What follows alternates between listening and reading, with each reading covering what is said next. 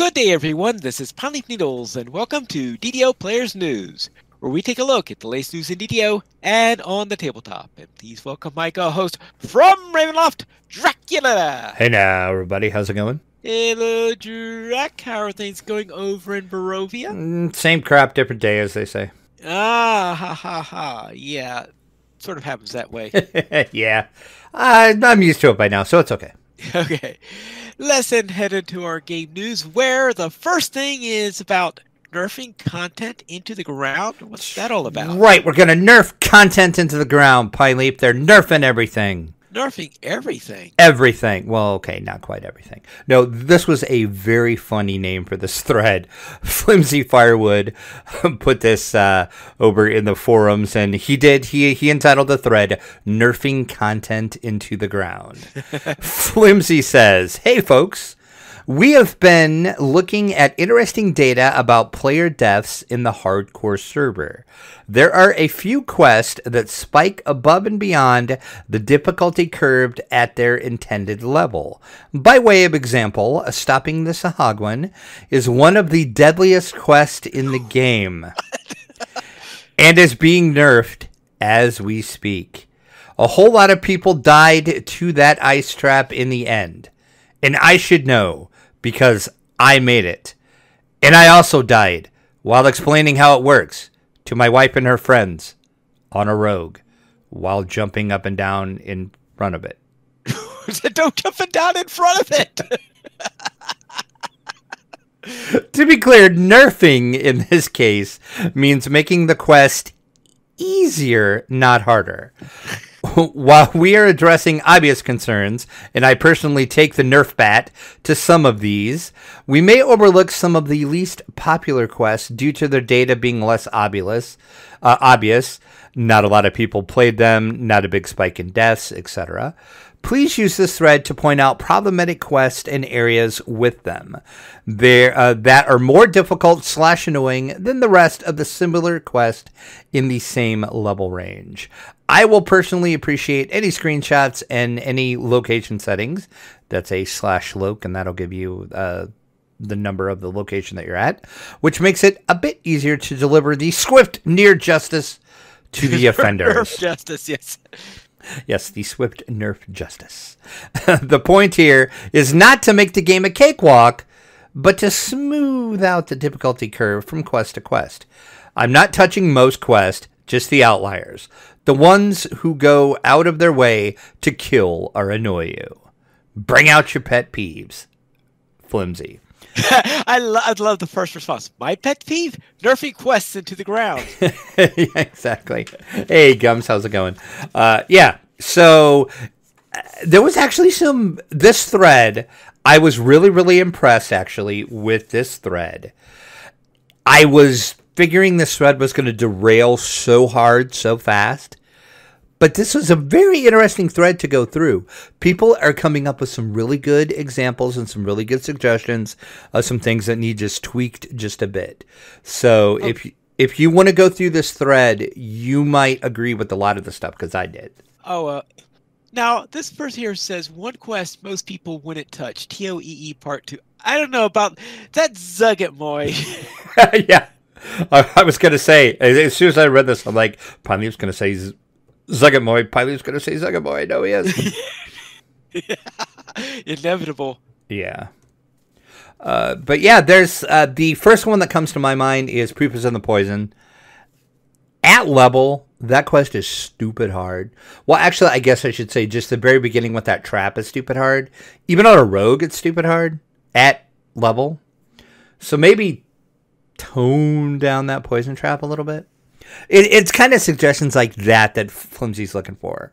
Or like, is there like a certain quest that you can think of that there's a certain monster that is a bit tough. Like I know later on in this thread, uh, some some people are talking about the very beginning of the uh, invitation to dinner quest when you first meet uh, Strahd and the uh, shadows and stuff come out. Some of those a bit tough. Those need to be toned down just a bit. Well, stuff like that. For me, invitation to dinner, I always think of that stupid mirror. well, yeah, there's that too. That's tough too, but that's an optional though. So Well, yeah, but you don't know it's an optional. Well, okay, that's true. Maybe, I maybe think I- see. I, I think I always run into these. I don't know of any other way to get to the end. Oh, well, I'll show you sometimes. Yeah, there's a way to get to the end without running that, but um, there's some good loot in those chests, though, so it's worth running that. But anyway, anyway, we digress. But yeah, so if you have any uh, suggestions, hop over in this thread. Like I said, I was really impressed. This thread did not like derail and just like blow up. It actually was a good thread. All right, then let's hope that some of the really, really, really outliers do actually get some attention as a result of this. Yeah, I hope so. So we'll be. It, it'll be interesting to see what uh, Flimsy does with the uh, suggestions that we're getting in this thread. But uh, so if you have any suggestions, hop in and let it know. Currently, as we record this on Monday the twenty fifth, this is on eleven pages. So going strong with suggestions to nerf. Then let's head into our next section where we're going to talk about the Hardcore League Season 1, the final standings, and the after party. And based on what's coming in here, there may even be a Season 2. Spoilers. Jeez, just like save all the good, exciting news. Just throw it right out there, Pine Leaf. Jeez. Man, you got to learn to tease this stuff a little bit. Yeah, no, it. it- everybody knew there was going to be a season two. I mean, it was inevitable, right? But maybe there might be. We'll get to that in a second. But yeah, Cordovan did post over on the forums. Uh, thank you to everyone who participated in the first Hardcore League. They have now published the final standings for both Reaper XP and Total Favor. Uh, you can click over and see that here. So if you click over uh, in the show notes, you can get a link to that. You can see all of the names that got uh, Reaper and got the uh, favor standings. Uh, don't look for my name because I'm not on there.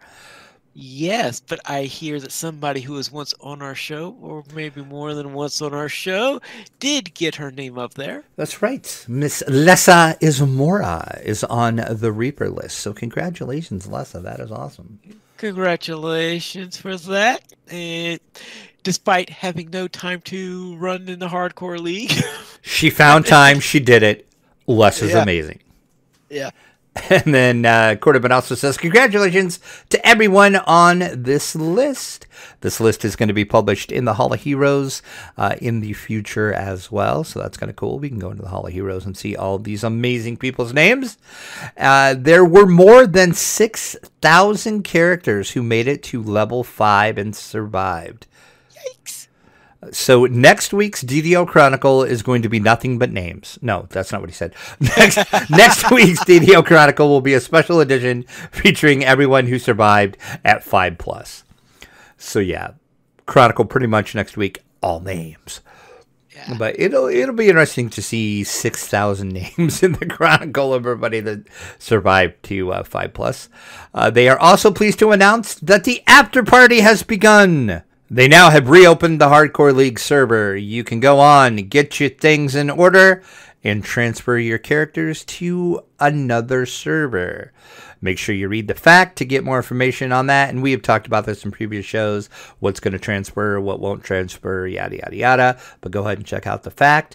Character transfers from the Hardcore League to any other live server can be done through the regular DDO game launcher. The timing is this. We will be keeping the Hardcore League server open through December 2nd, after which time the Hardcore server will close for a while pending some wider server work that they are planning. Once that server work is complete, we will work to get character copies re-enabled for both the Hardcore League and other live servers as well. It is not expected that character transfers will be re-enabled following December 2nd until probably early next year. So keep that in mind. If you want to transfer not just from the hardcore server, but if you want to transfer some characters off of one server to another server, you best do that before December 2nd because your window's going to close. Character transfers are going to be closed probably until early next year. Uh, And to, yes, to answer your question, yes. I, I'm pretty sure I know what you're about to say and ask. yes. My thing that I was going to point out is that Lotro had the same server work done about a month ago. Bingo. Yep. Yep, and we are and Lotro is still waiting to reopen transfers on there, and we don't know how long that's going to take. That could also be till next year, maybe, or I specifically asked Cordovan last night uh, before uh, we were on the D and D night DDO stream, and uh, before the stream, uh, I asked him, "Is this the same work that you did over on Lotro?" And he said, "Basically, yes." Okay. I I suspected DDO was eventually going to get that. Yeah, work. and Gumsking is saying it's likely the, the database update similar to Lotro. You are correct, it is. So that is what's going on there. So if you're familiar with what happened over on the Lotro side, I'm assuming it's going to be about the same way over here. Uh, but then the interesting part, Cordovan wraps it up. Taking part and watching the first Hardcore League has been great, and we hope you've all had a good time too. Stay tuned for more information about Season 2 of the Hardcore League in early 2020. Ooh. So there you go. Season 2 news coming in 2020. Now, I know a lot of people said, wait, Season 2, early 2020, that is too soon, way too soon. No, news of the Hardcore League Season 2 is coming in early 2020. Okay. That's yeah. I don't think he meant the Hardcore League season two is going to start in early 2020. Just information about season two. Don't have to panic. Plenty of time. My assumption. I mean, I would just assume the timing of it would probably work out to be about the same as it would would be this year. I would think, but I don't know. I mean, maybe not. Maybe they'll do it during the summer this time or something. I mean, uh, who knows? Who knows what SSG has cooked up? But yes, there more than likely is going to be a season two, which I said should not really be a shock to anybody, really, because of how popular this was. Uh, Right. The the the devs themselves even said they were uh, very pr- uh, surprised and uh, excitedly surprised at how well the players took to this and how many people played it. And so it was pretty much a given we were going to get a season two. When you had six thousand people who played at least a level five. Right, exactly. So, of course, you know, that's not 6,000 people. That could be, Six you know- characters. Yes. yes, 6,000 characters. But still, that's, even if you break it down to, let's say, you know, we'll just round it out and do the math. Okay, let's say maybe three characters per person. That's still 6,000 people. That's still a lot of people playing on the hardcore server. I mean, I, Yeah. I don't know anything. I don't know any numbers. I'm just throwing that number out there It's just a roundabout guess. Uh, my guess is we're probably never ever going to get to see actual numbers because that's just not what SSG does. Much to my chagrin, I always try to get numbers out of them, and I never do. I tried. I, I even tried a Gen Con when I had Seb in a bar. I thought it was the perfect opportunity. ah, still no numbers from him. So uh, I tried though. I tried, folks. I tried. So yeah, but uh, you know, I, I don't know. I I mean, uh, we we knew it was coming. Am I super excited about it? Mm, eh, maybe. I don't know. Well, we'll, we'll see. I, I don't see myself jumping in and doing it again. I might. I mean, I, I don't know. It just depends. Like, It, what- it can get frustrating with the goal with you having to get to. I think either was it a certain amount of favor Mhm. or to level twenty in order to yeah. in order to have anything substantial. Basically, it was five thousand favor. yeah, five thousand favor, which I saw is an unlikely thing for me to reach. And the other goals, I believe, level 20, which is even more. Now, the one to total favor, is that the. The which? I'm that- sorry. Yeah, is the listing on the total favor there? That's everybody who hit 5,000, it looks like. Uh, you, well, that's just if you basically you had to hit five thousand or above to even make it on the favorite leaderboards. Okay. So there's probably X amount of people that are at five thousand are just under five thousand seven, which is where the leaderboard kicks in. So I feel sorry for the person that had five thousand six. They j- j- just missed it by that much. Dude's probably like, yeah, I'm, I'm gonna make the leader. Oh man, missed it by one. That'd be Oh. horrible. That poor guy. Who whoever that guy is, you are the true VIP of the hardcore server. The five thousand six favor guy that missed the level by that much. Oh well, that's that's sort of the tricky thing on the on the whole thing. That's right. So yeah, so go check that out. Check out all the names. Uh, there's a lot of names on there. Congratulations to all those people. And season two coming soon at some point in 2020, early 2020. We'll get information and news on season two. Then uh, let's head into our DDO Chronicle issue 360, where on the top we have some gnolls that apparently are in the Knoll Cave in the Borderlands, I think. Shocking! We have a Yes. Borderlands cover on the Chronicle. Who would have thought? Me. I thought it because I said it was going to happen. Anyway, in the community spotlight, uh, Hardcore League wrapped up. We just talked about that. Yeah. Uh, po- Point Blank Range with a Keo is the newest streamer over on DDO Stream. So check out the first show that he ran and join him every Monday, starting at 9:30 a.m. Eastern. So that is an early stream on a Monday. So if you happen to be home or you happen to be in a different time zone, check him out. Also, uh, Kimmy is doing a video series teaching you how to run Cannith challenges. Click over and check out the video he made for picture portals. That means I think you you select it and then you die, right? That's, that's how it goes. Oh, Lessa is face palming right now. Wherever Lessa's at listening to this, she's face palming that you just said that. You know what's going to happen now. Lessa's going to drag you through Cannith challenges. You know what's going to happen. It'll happen. Oh well, e- e- e- either Les or Kemi will just drag me One of them. them. One, one of them. Yes. We'll see. I'll I'll have to get in touch with this Kimmy and say, hey, got a I got a real challenge for you.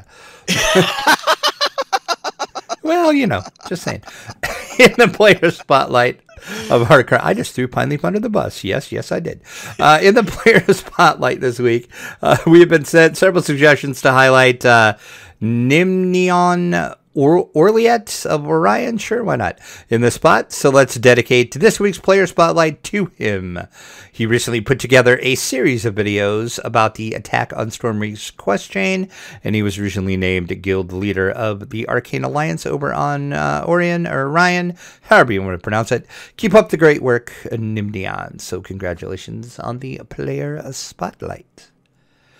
Let's jump into the fan site news section of our Chronicle. DDOcast had an episode last week, part one of their Hardcore League um, post mortem. Love that name.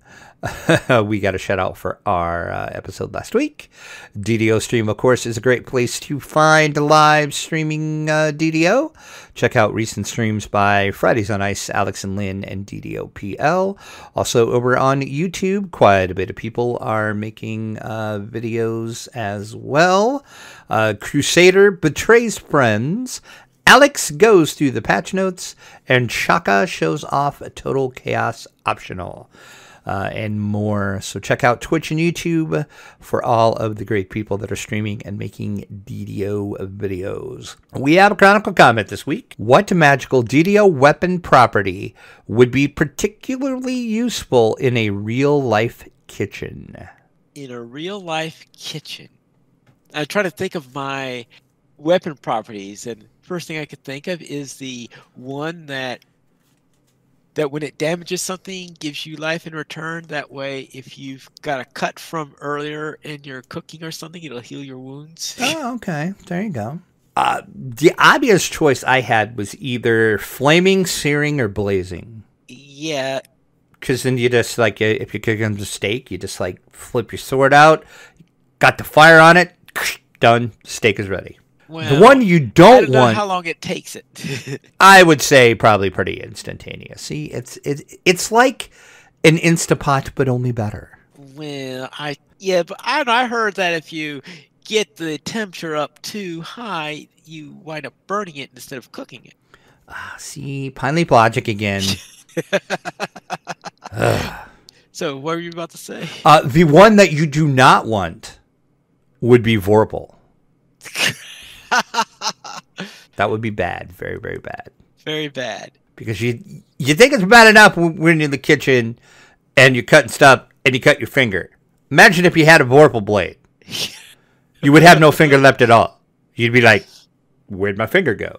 Oh, yeah. Oh, wrong Okay. time to roll a 20. Yes.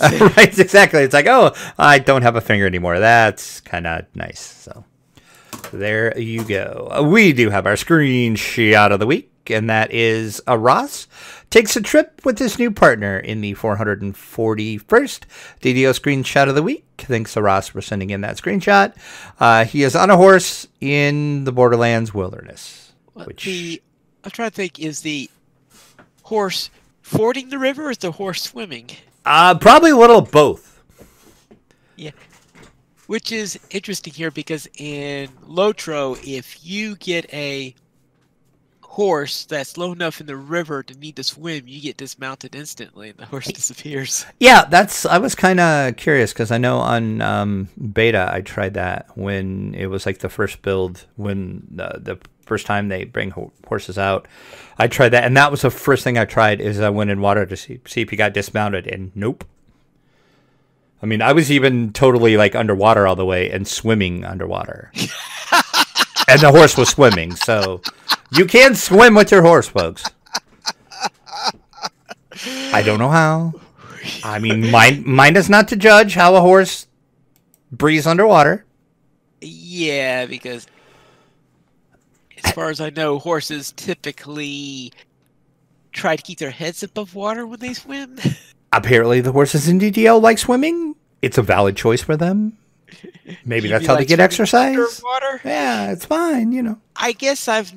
It gives all new thoughts about the. There's this island in the Chesapeake Bay where I think they, they have this annual thing where they take the horses from. I think they're breeding ground from one, on one island to another island. so, I could, so I would presume those horses have to swim, but I Well, that would be way more interesting if they would go under the water. Yes. All right. Then let's head into our store sales. And there, is there anything good for sale this week? There is. It is the Adventure and Advance sale. 25% off select adventure packs, Quest XP elixirs. That is through November the 28th. Uh, for the astute among you, uh, that would be Thanksgiving Day. Th- At least here in America, I should say the Right. U.S. Thanksgiving. Black Friday is another U.S. type holiday, I guess. And it's not really a holiday, but it's pseudo holiday, I guess I'll say. Well, yes, but I believe that we have gifted that to the rest of the world since then. We have, yes. So Black Friday sales are coming. Those are going to be announced uh, late Wednesday. So after this podcast is released. Uh, so I might do a post over on the site about them if for somehow you you miss them. So look for that. But yes, new sales are coming Wednesday the twenty seventh. Black Friday specials included. But this week, select adventure packs, Questella XP elixirs through the 28th. So you have a couple more days to jump in on that. Uh, the free coupon is a pretty amazing pre-sample, which I don't believe we've ever had as a pre-sample before. That will get you a free Call of Destiny elixir. Use the coupon code Destiny Calls. That is also through November the 28th. So I have What to. does the- what's that? what does a Call of Destiny elixir do? That will a that is a potion you will drink that is going to allow your character to earn experience in one epic destiny while you're active in another epic destiny. So normally when you're in epic destinies, you can only earn the experience in that destiny that, that you're in. But with this potion, it's going to allow you for up to three hours, you can earn experience in another destiny while you're playing in another destiny. Okay. So it's kind of nice, but you got to remember you, you have to have unlocked the appropriate epic destiny before you can gain experience in it. You just can't pick one random at say I want to end that one that's way over there that I'm not even close to. You. No, it doesn't work that way. You have to you, you have to have it unlocked, and then you will select which one that, that you want to earn. So and I think they last three hours. So after you drink the potion, I think it lasts for three hours. So Is that real time or dungeon time? uh, game time. Okay. So and and it's not like uh it. I can't remember if that's one that pauses when you're in public area. I think it's just three hours real time. That's one of those that just the clock ticks. And once it's done, it's done. So you might want to like plan accordingly before you drink it to where you know, okay, I'm going to, you know, quest at least for an hour here. And then when, when once you log out, I think it pauses when you log out. And then when, when you log back in, you'll still have like another hour or whatever. So I, I haven't actually used one because I've never bought one, but I'm to like get this free sample and check this out. So I'll see if I'm right, but I'm pretty sure that actually pauses when you're logged out. But other than that, when, when you're in game, the clock is a ticket. Then let's head on to see what's coming in from the dungeon.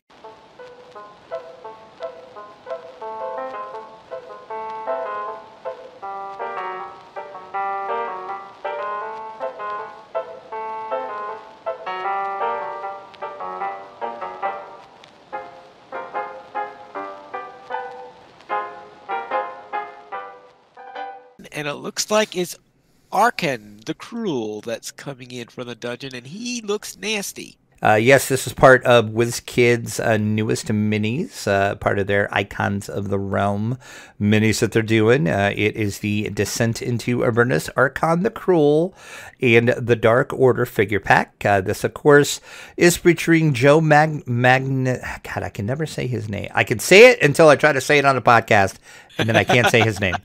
Joe Magna. Whatever. You know who I'm talking about. I. I don't understand why that happens.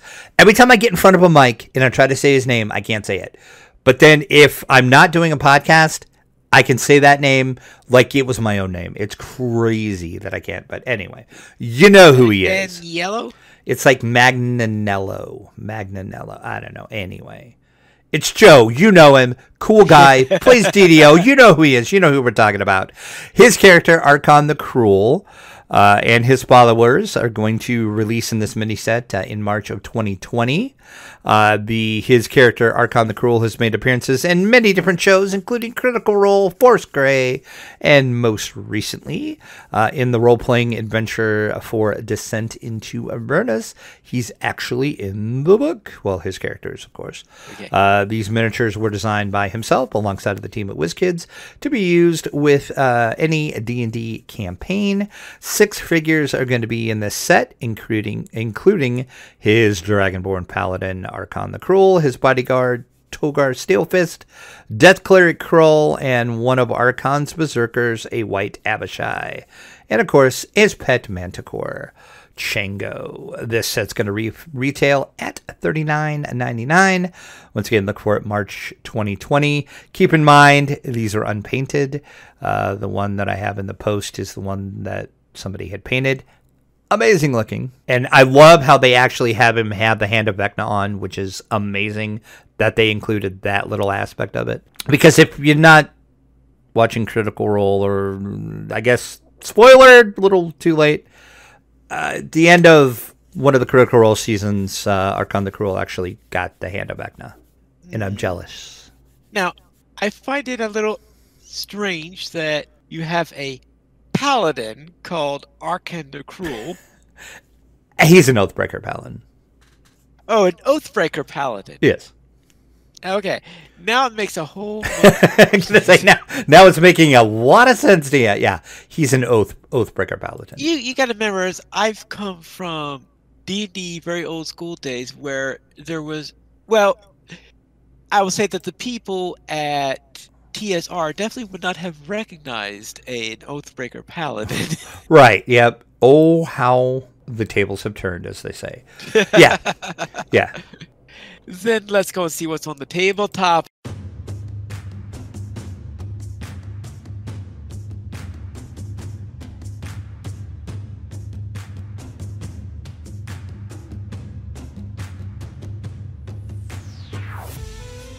Where the King of Tokyo Dark Edition Dark Edition Limited Edition is coming from Iello and Dark Edition, Limited Edition. It's dark, Pine Leaf. It's very, very dark. Dark. yes, Iello did announce King of Tokyo Dark Edition is going to come in the first quarter of 2020. It's the classic tabletop brawl. Brawl. It's going to get an all new look, upgraded components, and new gameplay mechanic. King of Tokyo Dark Edition is going to be a limited edition run with only one, I repeat, one print run. So when it sells out, it sells out. Uh, Iello says this is going to be a showcase a showcase piece for your board game collection. It's going to feature an embossed cover with upgraded components and a carefully new selected varnish, which I'm curious on the varnish. Because varnish is usually something you put on wood, correct? It's what I'm most associated with. I think I might have heard it on other things, but so uh, apparently they're going to put varnish on the component which I don't know. But yes, this is a special collector's edition of Richard Garfield's King of Tokyo. Players are going to experience the dark side of giant monster battling. The backdrop for their battle, their battles, Tokyo, is more wicked than ever. In this more wicked edition, features an all-new mechanic which they didn't say what it was yet. King of Tokyo Dark Edition is for two to six players, ages eight and up. Plays in about 30 minutes. Uh, retail is going to be $49.99. And so far, as far as I know, and I've reached out to my rep at Iello for clarification on this, and I haven't heard back yet. This is only going to be sold directly from Iello, from what I can tell. I've looked in all the obvious places and uh, i.e., like miniature market, cool stuff. They do not have it listed. Amazon does not have it listed. So either it's not listed anywhere else yet, or it's only going to be sold directly from Iello. Not sure which. As I said, I've reached out to my rep, haven't heard back. But it's pretty interesting. Limited edition run I, they didn't say how many were in the edition, but they're only going to do one print run. So I'm guessing you're going to see this after the fact on eBay for stupid, stupid prices. Most likely. And I hate that. I hate when people do that with a passion. That is one of my biggest pet peeves in the board game hobby that people do that. Or people go on and will kickstart a game and get all the Kickstarter exclusives and then put it up on eBay for like five times the amount of money, and then people actually buy it because they didn't do the. It just oh that burns me so bad. I just that is my my biggest pet peeve in in this hobby is people that do that. Yeah. I mean, I guess supply and demand is what most people would say, but it's just it's just wrong. But you know, what are you gonna do? Anyway, fortunately, people have been doing that with all sorts of things for well, as yeah, long as there's been a mercantile system. That, that is very true. It's it's not just board games that happen in, but it's just I just notice it a lot in board games, and I'm just like, no, don't don't pay no, don't pay that much money for that. But uh, right. this is kind of interesting. The one print run, and oh, go ahead. I'm just wondering, you have this genre where you have these big monsters battling mm-hmm. out each other, destroying mm-hmm. the city in as collateral damage all the way through, and they're saying, "Oh yeah, and now let's see the dark side of that." That's right. Uh, yeah, it's from the couple pictures that they have shown off. Uh, you you can kind of see it from the cover of the game, the box, which uh, I do want to point out the picture that's on the screen right now, if you're watching the YouTube version of this, uh, and the one that I have over on the site, is not the final version of the box. They pretty much said that's about what it's going to look like, but you can kind of see what they mean by dark. Everything is going to have like a dark theme to it. Uh, I don't know. I'm excited for this. I think I'm going to try to get one of these because I love King of Tokyo. I think it would just be awesome to have this limited edition thing. Um, I'm going to try to get it at the $50 MSRP, though. I'm not going to pay stupid eBay prices for it. Anyway, yeah, the, the monster on the top there looks like Wolfzilla. well, kind of, a little bit. So hopefully, uh, if I do manage to actually get this because they didn't say what the print run was going to be. Just there was just going to be one. Uh, we'll do like an unboxing and whatever on it if I can actually purchase one of these, but we'll see. We'll see. But that is uh, King of Tokyo Dark Edition coming from Iello. And next we have something that I'm sure you've always wanted to do that you to play Ticket with Ride with She Who Must Not Be Named. That's right, and I forgot to mute mine, so yes, I'm not going to say the name because I was going to mute mine so I could say the name, and then I didn't do it. So as I'm staring at it right now, yes, you know that Amazon Echo device, and she has a name. Uh, if you ever wanted to play Ticket to Ride with her, now's your chance. Amazon and Days of Wonder are changing how players experience board games by introducing the uh, first official she who not will be named skill for Ticket to Ride and Ticket to Ride Europe for free. Uh, the move hopes to welcome new players aboard the award winning game by Alan R. Moon, of course, and act as conductors. I see what they did there for an even more experienced rail riders. Uh, the, these skills will replace the rulebook by taking players on a guided experience of the game and offering the option to use it as an additional player. So if you want to play Ticket to Ride solo, you can play it solo with your Amazon Echo and she who not shall be named named. Well, maybe I would just want to use the run the app instead and not worry about someone who must not be named. Kind of, uh, yeah. I don't. Yeah, I don't. This kind of didn't make sense to me because I'm like, just use the app and do it. But anyway. maybe this will get some new people into the hobby because Ticket to Ride is kind of one of those gateway games. Anyway, it's not. It technically, and I'm using. I don't know why I'm actually physically using air quotes here because nobody can see me because this is a podcast. But I actually really did do air quotes there. Uh, it's technically a hobby game, but it's kind of one of those that straddles the line where it's almost a mass market game at this point because you can walk into pretty much any store and find this like any Walmart, any Target, uh, any Kmart. If you still have one of those, those which Kmart's are pretty much going away, but uh, we have a couple other regional stores around here uh, that I can go into, and they sell Ticket to Ride. Uh, I've seen other places uh, like Bed Bath and Beyond. I've seen it in there even. Bed Bath and Beyond. Yeah, they have a small game section. Usually right right around Christmas. Uh, oh, they don't have many games, but it's usually right around about this time. Uh, I've seen it in there. I've seen it. Uh, I'm not sure how widespread uh, store Kohl's is, but I've seen it in Kohl's too. So, like I said, technically Ticket to Ride is a hobby game, but it's almost a mass market game. But it's kind of one of those really good gateway games because if you can get somebody that is not a board gamer to play Ticket to Ride with you, I bet you you could probably get them to play something else. It's one of those good games. So maybe this might get some people in like if they have an echo and they're like oh well i have the echo let me get this game and let's see what this is about. And then you can use your echo. Maybe that'll get people in but i, I don't know. I'm not jumping up and down about this personally but i mean i do love ticket to ride. I might try this. I mean i might as well i guess give it a shot and see how it play. I, i'd be interested to see how it actually would play. Yeah.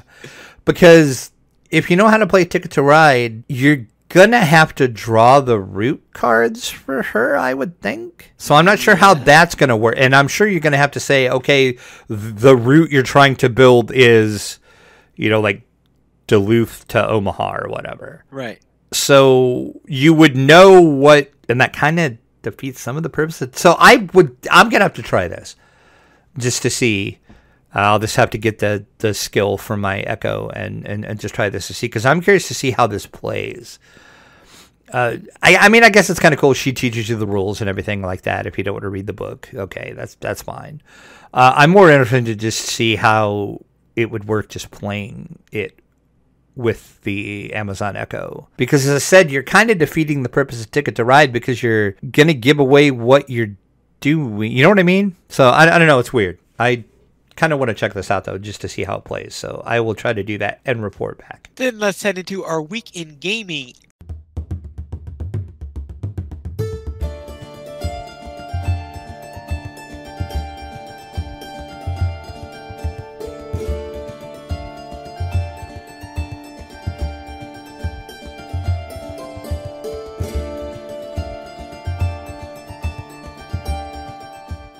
And Drek, what were you up to?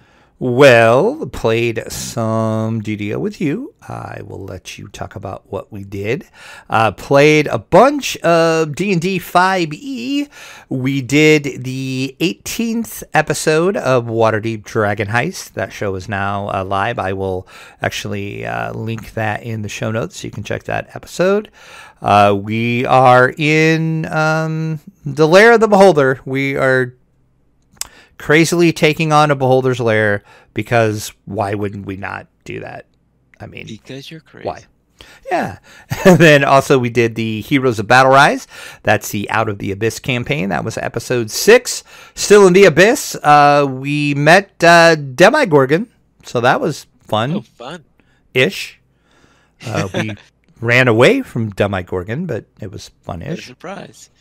Um, yeah, yeah. So you can see see that. Uh, strange things are afoot with that. Uh, I don't want to spoil too much. I guess I kind of spoiled it where we met Demogorgon, but okay, minor spoilers if you haven't watched that yet. But uh, if you are watching the show, you knew it was coming. It was pretty much hinted at the episode before what was coming. So, so minor spoiler, I guess. Uh, and then uh, video game wise, uh, started playing Seven Days to Die again. Been a long, long time since I played Seven Days to Die. There's been a couple updates since I played. Uh, the new uh, Unstable update is out, and a lot of things changed, and there was some new mods that came out for that. So we decided to be crazy and combined an unstable build with unstable mods to see what happens so there you go.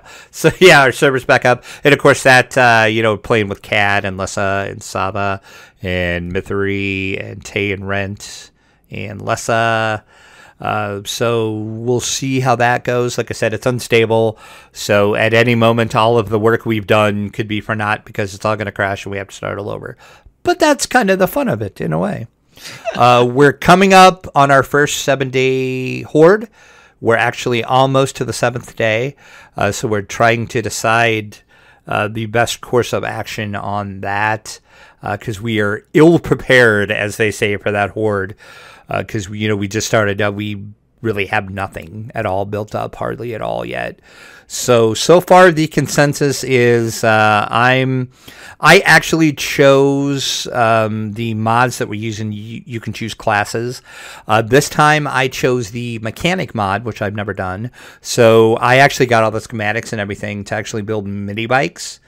And we managed to scrounge up the stuff that we need, and with uh, Rent's help and uh, Cad's help, we managed to get some stuff, and they kind of used the skills that that they had, and they they could craft the stuff we needed. I actually made a mini bike, so we have a mini bike. So so far, the consensus to how to survive this first horde night is going to be I'm going to get on a mini bike and I'm going to drive around and just have the hordes of zombies chase me until the horde is done. So we'll see if I survive that. Um, I am going to take video of that, I think, because that should be a fun, interesting challenge to be chased by God knows number of zombies. Because uh, basically, I'll be the only one on the server, so all the zombies are going to come to me, and then I'm going to get on on the motorcycle and I'm just going to ride them as far away from our base that we're starting to set up as possible. So we'll see uh, if this crazy plan works. Uh, next week, I'll report if I died horribly, uh, which maybe might happen. I don't know. We'll see should be fun. Uh, I'm pretty sure that's that's how we're going to do that horde, and then uh, the next horde day at day 14, we'll actually fight because we'll be ready by then. Uh, we were just not prepared on this one. Uh, plus, the the map we're on this time is huge. It is like the biggest world map seed that we have played on, and we were totally all separated when we started. So, and some of us are still separated, so we're all not together yet. Um, so that's another reason why we're not quite quite prepared for the sword. But we'll see how that goes. Uh, wish me luck uh, without sacrificing my life, but we'll see. We'll see how that goes. Yeah. um, and that's really basically it. Uh, so you can tell them what we did, and then uh, I see you did a bunch of stuff. Holy cow! Well, that's because we had I have two weeks here. Oh, that's right. I forgot. You were not on last week's episode. That is correct. Right, because you must have done it at some weird time or something like I that. I did. It well, it wasn't that weird of a time, but uh, you may have been recording another podcast at the time I was recording that podcast. so you probably couldn't have been in two places at once. So that might have been a little problematic. Oh, Or if not, you might have got really confused and you might have started talking about something and people on Lotro were like, "What? what is that?" Yeah, they're saying, Where to the Borderlands? yes. Right, exactly. Where's this Borderlands? I want to see this. You know, we'll begin with my Dragonborn Artificer, who first got lost in the swamp, then found the end of the road. Then after that, finishing the Druid stuff with the end of the road. And actually, no, that's the Netherese chain with the with all those scroll pieces you're looking for. That's so we got to the end of the road. Then I decided to go into the Demon's Den in the Inspired Quarter, and Well, that sounds like a fun place to go into. Yes, in the demon's den. So I reached the ritual room. You know the ritual room where you have A Marilith? yes, well, That ritual room? yes, that ritual room there. Of course, the first time you get in there, it's it's a bunch of underlings that she had spawned in, Mm-hmm. Yep.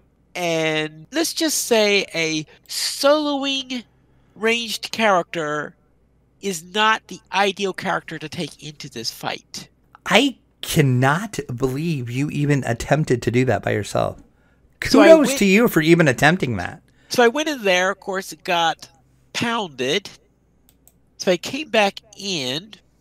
Actually, I didn't get back in time, so I think I wound up, res- that wound up resetting it. So I get go back in there and trying it again, and this time I managed to survive in there. But really, actually, I might have gotten killed another time, but this time I had the respawn point at a close enough point that I was able to get back in time. And eventually, I managed to go and finish that dungeon. I can't believe I managed it, but I did. But yes, you're right. With since you know that I've never been known to be able to find a nice optimal spec, shall we say, that Mhm. really makes me powerful, and soloing on a ranged on, on an artificer, and yeah, that's a tough dungeon. After that, I decided to try. I must have been a masochist in deciding to do this. The shipwrecked spy. You are just like what? Who? Who are you, and what have you done with Pine Leaf? Yes. Now, staying alive in the shipwrecked spy seems to be easy enough. Is keeping that captain alive because that captain seems to always go on the other side of the map, and I don't know about that. The captain surrounded and being hit by mobs until it's too late. So I tried it twice. Captain died both times, and it does not help at all that I cannot target the captain in order to try to heal or anything like that. It's like I tried to target the captain, but there are always so many mobs surrounding the captain, and whenever the captain's in trouble, that you know, sorry, I'll, I'll never click on the captain in order to be able to do a heal or anything like that. So I I just decided, all right, I'll hang it up at that point. So I went back to the Inspired Quarter and ran the Dream Conspiracy. Uh, finding the path, I dream of Jeets, then the Mind Sunder. And while running the Mind Sunder, I learned something very, very important that there's actually a legitimate reason to take inflict damage as a spell. In fact, when I did eventually finish this, and I finished this just barely, I was at the slightest amount of health left when I finally broke the Mind Sunder. Nice. I believe I died half a second after it. So I completed the dungeon. I didn't get any loot out of it because I died But- afterwards. You you completed it though. But I got credit for completing the dungeon in there. And I leveled up to 19. And when I leveled up to 19, I decided, all right, I'm taking inflict damage because I'm sure th- destroying that nine nine center would be a hundred times easier if you're using a spell that's specifically designed to destroy things like that, as opposed to shooting it with a crossbow where every single type of auxiliary damage I'm putting out it's immune to. So it's just like, okay, you do this little bit of damage, you do this little bit of damage, you do this little bit of damage, and I got all these miles pounding on me at the same time. So yeah, it was, it was, and you can't get rid of the miles because they just respawn. So yes, I got through that one through the in the worst way because yeah, I didn't have inflict damage. And my suggestion is if you ever do the Mind Sunder and you got an inflict damage spell, have that spell in there. When I say inflict damage, I mean the is that what you call it? That yeah, inflict damage, right? Yeah, because it's for the construct when it goes against constructs. Yep. Yeah. Yep. Yeah, that's that, that's inflict damage. I think I think that maybe force will work, but yeah, just about any other type of damage is useless but I managed to get through that. Now, after reaching 19, I decided, well, is it possible to run Epic Keep of the Borderlands with a level 19 character? Should be. And I found out that you're not allowed to. Really? It did not. I tried it. It did not give me the option to run the epic version. It only would allow me to run the heroic version. Ooh, I bet you have to be. Tw- I bet they have it locked at twenty then. Yeah, I think it's locked at twenty. Uh, okay. So I need to get one more level then. Let's see. Because I was hoping to be able to do it because this is the character that I'm trying to get to level 20 by the end of the year. Oh, okay. I was going to say, uh, I, I, was trying to figure out why you were doing all this stuff, but okay, now it makes sense. Yeah, I like said, now I got to figure out, all right, what do I do at level 19? It looks like it. The only place I could think of right now is the Stormhorn, so it sounds like a trip to the Stormhorn. Yep, that would be about your best bet. Yeah. I would say. Then I took a gnome artificer and ran the bugbear bandits watch your step and violent delights. And what I noticed while running in the borderlands was something very, very unusual. My dog kept up with me all throughout it. All right, I think I once went across a bridge. I went across, I forded a stream or something like that that gave it trouble. But outside of that, it was following me all over the place. I have known no other location in the game where my dog behaves. And that's your arty dog, is yeah, what, my arty dog. What you're talking about? Okay, yeah, yeah, my I dragon. figured that's what you were talking about. Yeah, yeah, my dragonborn arty dog. It is constantly gets stuck places, no matter what. You, would, I could be on a flat, featureless plane, and that thing was going to get stuck. nice. In the borderlands, I'm going through mountains, I'm going through hills, I'm going through over bridges, I'm doing all sorts of weird stuff, and the thing keeps up with me. and then of course with you on my level 20 gnome warlock, I we ran the complete border I know you went over the first half of you're talking about the first half of it with last week's show, but right, but yeah. Since I was last on, we went through the entire Borderlands, all eight quests. Whee! So at least I know what they're all like now, and that my gnome artificer has some idea what's coming up. Then in Minecraft, I ran the Mage Rages for November for three weeks three and four, and for week four, one of the items that I had to get was a prismarine slab. And I'm sorry, he's evil, isn't he? Because not only do I need a prismarine slab, but during this particular month, because he's doing some crossover stuff, he decided that there will be no borders. No, he normally has a board, a spherical border. Okay. Going through the area so that you're able to got an idea of how far you can go and stuff like that. But in this case, there's no border, and I had to get a prismarine slab. And getting prismarine means finding an ocean monument. Do you know how hard it is to find an ocean monument? Probably does not sound like it'd be something that'd be simple. Well, ocean monuments are only found, as the name implies, in oceans. And of course, oceans aren't exactly known for places where you have easy visibility and all that stuff. And when you got this big wide ocean, you're saying, okay, now where do I search? Now, there was a village, and perhaps I could have tried trading up one of the cartographers to see if he would have a cartographer, a map to an ocean monument. Maybe things Okay. would go faster if I'd done that. But I decided, oh, I'm sure it would be I'm sure there's got to be an ocean monument that's easy to find. Otherwise, he would not have asked us to find this. Well, it there was one actually. I think just to the just off in the direction it goes. I think just to the north of a coral reef. So okay, perhaps just off the coral reef there was one, but I didn't notice that one. So I decided, well, this can't be a very large ocean. So what I'm going to do is I'm going to follow the coastline and go around in a circle.